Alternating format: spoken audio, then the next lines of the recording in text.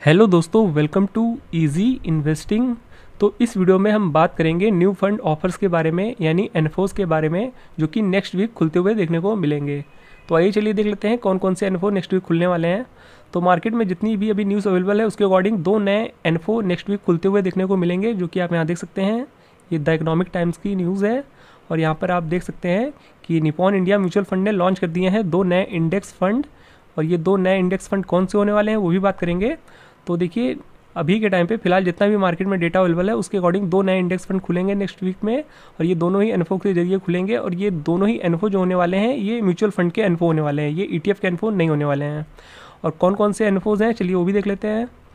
तो पहला जो एनफो है, वो है देखिए निपॉन इंडिया का निफ्टी रियलिटी इंडेक्स फंड और दूसरा जो एनफो होने वाला है, वो है निपॉन इंडिया का निफ्टी ऑटो इंडेक्स फंड और ये दोनों ही इंडेक्स ऐसे हैं जहाँ पर एक अच्छी खासी अभी एक टाइम पे गिरावट देखने को मिल रही है।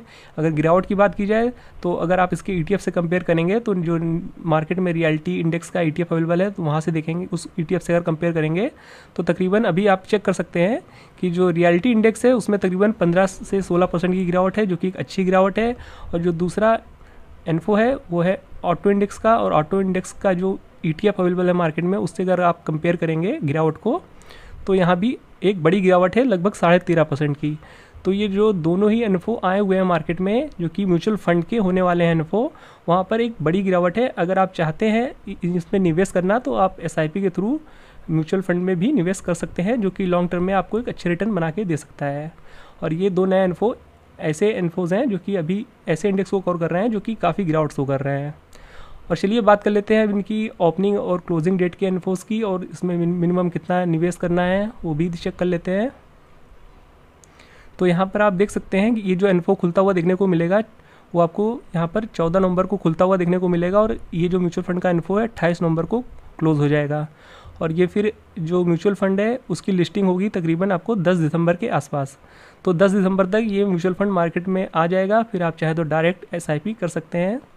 तो ये दोनों ही इंडेक्स ऐसे इंडेक्स हैं जहाँ पर एक अच्छी खासी गिरावट है। तो अगर आप इस गिरावट में निवेश करना चाहते हैं, अपनी एसआईपी शुरू करना चाहते हैं तो इनके थ्रू कर सकते हैं। और बाकी बात की जाए मिनिमम इन्वेस्टमेंट अमाउंट की तो इन दोनों ही म्यूचुअल फंड के एनफो में निवेश करने का जो मिनिमम अमाउंट रखा गया है, वो है एक हज़ार रुपये तो मिनिमम एक हज़ार रुपये से आप इन दोनों ही म्यूचुअल फंड के एनफो में पार्टिसिपेट कर सकते हैं।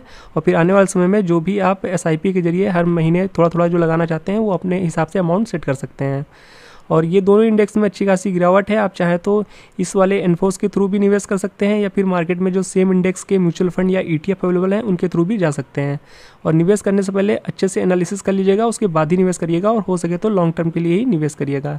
तो ये वो अपडेट था जो हम आपको शेयर करना चाहते थे। आई होप ये वीडियो आपको इन्फॉर्मेटिव लगा होगा।